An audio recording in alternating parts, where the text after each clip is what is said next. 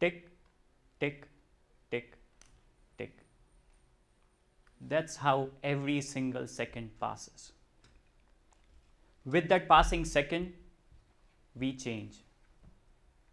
As provocative and as profound it sounds, we change with time. Why do we change?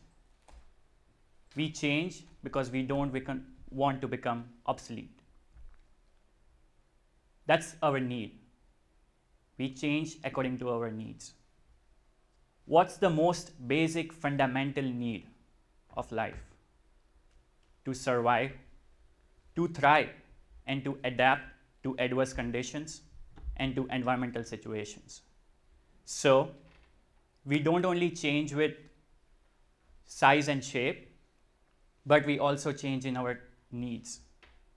And so, layer upon layer of these adaptive situations, adaptive adaptabilities to adverse conditions and stressful situations over a period of time, over a period of seconds, milliseconds, years, decades, millennials, compile evolution. And that's how we have evolved.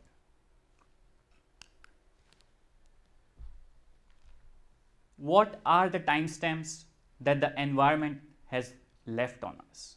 You hear these talks every day. We are changing the environment. We are inducing climate change. But have you stopped to think how the environment is changing us? What are the timestamps the environment has left on us, on our DNA? See, evolutionary, we were told that DNA is your destiny. Your genes maketh a man. But recent emerging evidence from our laboratories and several other all over the world think that this might not be the case.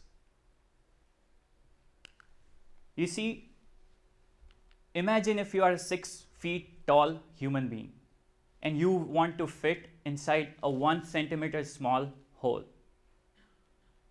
Can you do it? As impossible as it sounds, that's exactly what your DNA does. In a single cell, the nucleus contains DNA which is 6 feet tall. And so that DNA, it uses a trick of supercoiling. So it wounds around proteins called as histones. Imagine of histones as being spools for your DNA. So the DNA winds around histones, it supercoils, and it fits into that tiny nucleus.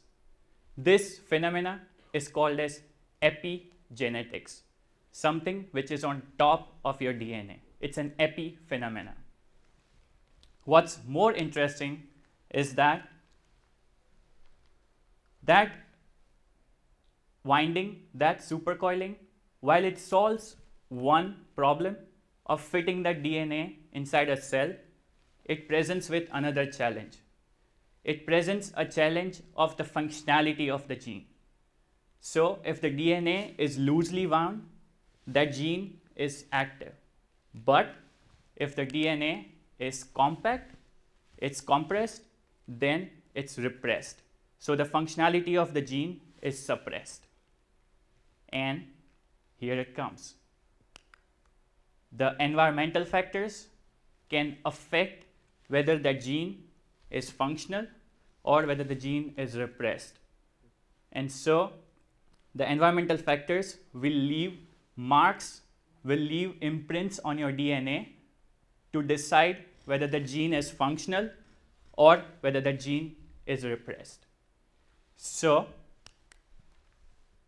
if you think of genetics as genes, then epigenetics is what regulates whether the gene will be active, when it will be active, how much it will stay active, and what factors contributes, what factors decides whether it will be active or not. Let me give you a symphonic example. Close your eyes, think of a symphony which is your favorite symphony.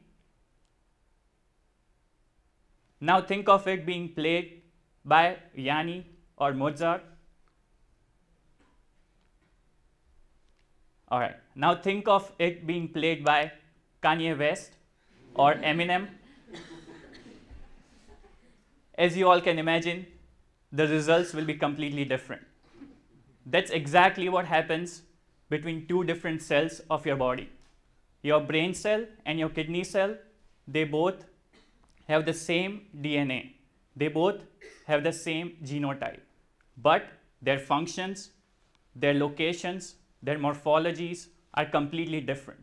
And that's your phenotype. And that's what's controlled by epigenetics.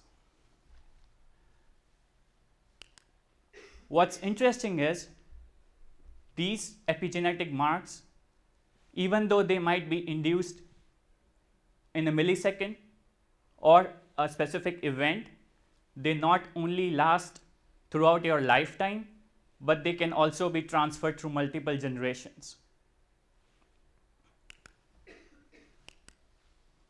All right. I would ask you to close your eyes again and think of an event which is really stressful. Think of the memory you have of that event.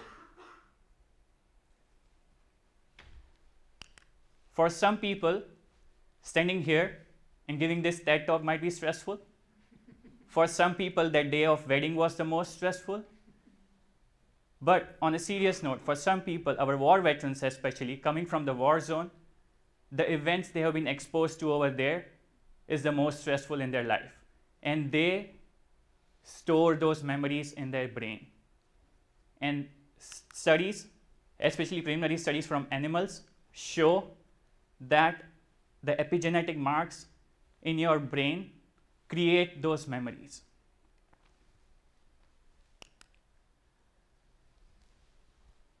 Those micro timestamps also sustain throughout your lifetime. If you think about it, we interact with the environment by taking food, air, water as resources. But how do they affect us? How do they leave an imprint on us? And think about as diet. The most basic diet, the most basic thing we consume, milk.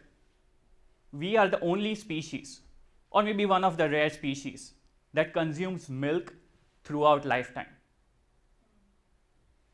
We don't only consume milk from human breast milk, we also consume milk from other species cow, sheep, goat, camel. But the ability to digest milk, lactose, weans out after a certain age, especially in certain individuals. Whether it is epigenetic, whether it is genetic, is still debated. But the diet you consume leaves an epigenetic mark on your lactase gene. So we have evolved, we have adapted to digest lactose throughout lifetime.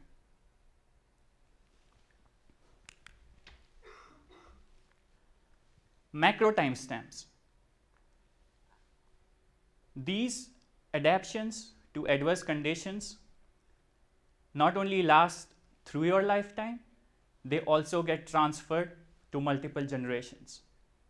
Studies in the pregnant mothers, especially during the Great Famine in Netherlands after the Second World War, showed that kids born to these pregnant mothers were highly susceptible or predisposed towards developing neurological disorders as well as diabetes. And so there was an environmental sensor placed in those pregnant mothers that there's food scarcity out there, there's less food out there, so upregulate your genes.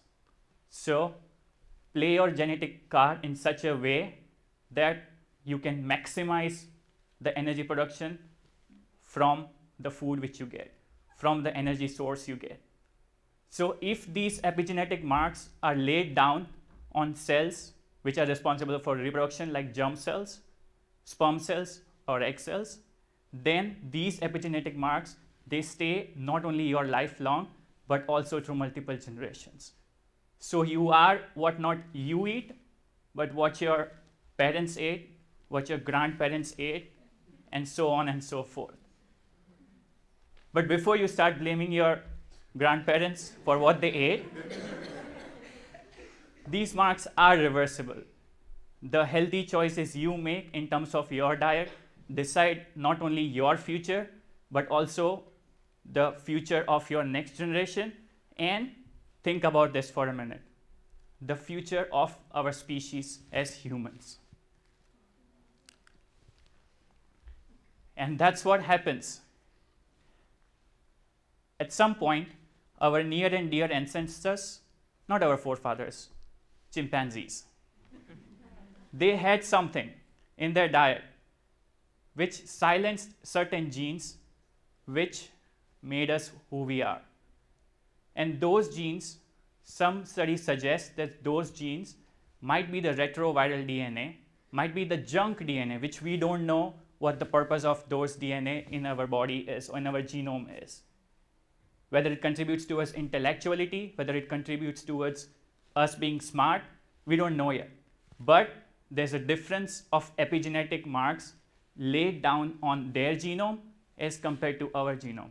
Although we share so much ancestry in terms of DNA with them, still we are not scratching ourselves, we're not running around jumping on branches.